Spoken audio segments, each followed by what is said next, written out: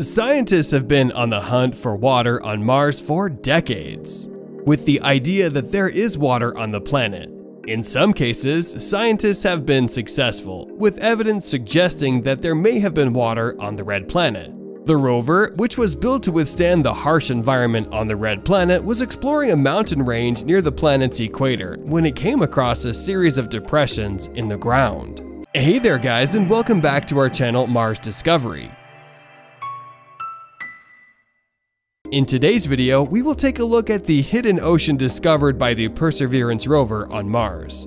Make sure to subscribe to our channel and hit the bell icon for more Mars-related content. With that out of the way, let's get right into it. After analyzing the terrain, scientists at NASA concluded that the depressions likely contained oceans billions of years ago. The discovery is the first evidence that oceans have been discovered on Mars, and it may indicate that the planet was a wetter and warmer place in its past. For years, scientists have speculated that oceans might once have existed on Mars.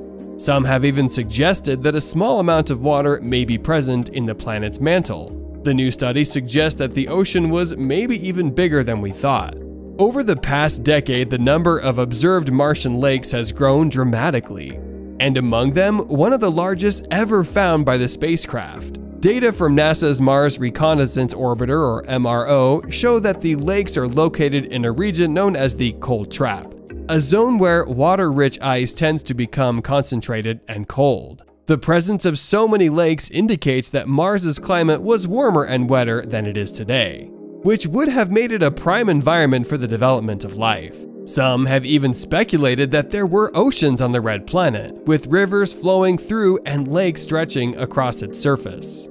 However, the latest discovery suggests that the planet was a much more aquamarine place over the course of its history, with rivers, lakes, and oceans dotting its surface.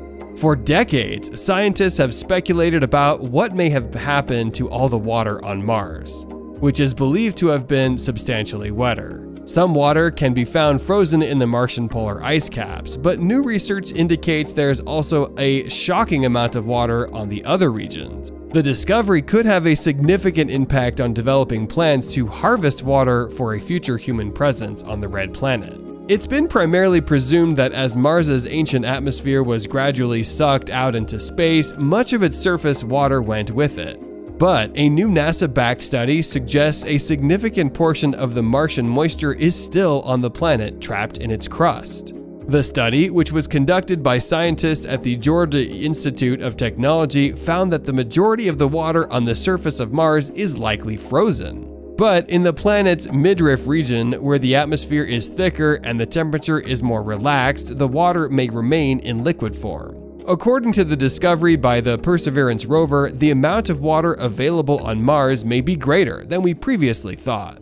The team found that 4 billion years ago, Mars had enough water to cover the entire planet with an ocean between 100 and 1500 meters deep, and that between 30% and 99% of that water is now trapped in minerals in the crust. When water and rock interact, a chemical weathering process can occur that creates materials such as clays that can contain water within their mineral structure. This process happens on Earth, but the geological cycle eventually sends moisture trapped in rocks back into the atmosphere through volcanism. Mars, however, appears to have very little, if any, volcanic activity, leaving all that water stuck in the crust. The oceans may have flowed on Mars buried beneath the planet's surface, making exploration of this region easier in the future. Scientists predict that oceans may have reached the depths of nearly 100 feet below the surface. But as the study points out, the liquid water may have been confined to the planet's lowlands. The Mars 2020 Perseverance mission is part of NASA's Moon to Mars exploration approach which includes Artemis missions to the moon that will help prepare for human exploration of the red planet.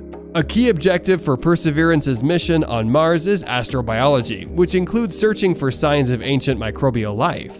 The rover will characterize the planet's geology and past climate, paving the way for human exploration of the red planet, and the first mission to collect the cache Martian rock and regolith. After collecting eight rock core samples from its first science campaign and completing a record breaking 31 Martian day dash across three miles of Mars, NASA's Perseverance rover arrived at the doorstep of Jezero's crater's ancient river delta on April 13th. Dubbed Three Forks by the Perseverance team, a spot where the three route options to the delta merge. The location serves as the staging area for the rover's second science expedition, the Delta Front campaign. Thomas Zurbuchen, the Associate Administrator of NASA's Science Mission Directorate in Washington, said, the delta at Jezero crater promises to be a veritable geologic feast and one of the best locations on Mars to look for signs of past microscopic life. The delta, a massive fan-shaped collection of rocks and sediments at the western edge of Jezero crater, formed at the convergence of a Martian river and a crater lake billions of years ago. Its exploration tops the Perseverance's science team's wish list because of all the fine-grained sediment deposited at its base long ago. The NASA rover Perseverance has spotted what it believes to be an ocean on Mars which it says is the most compelling evidence to date that the planet had water on its surface at the planet's earliest moments. The discovery was made using images captured by the rover's cameras. The oceans of Mars may be far fewer in number and far less extensive than those on Earth, but they still represent an immense reservoir of liquid water. Since there is life virtually everywhere on Earth where there is water, this history of water on Mars raises the possibility that Mars was once home to life and might still host life. However, Mars is now cold and dry.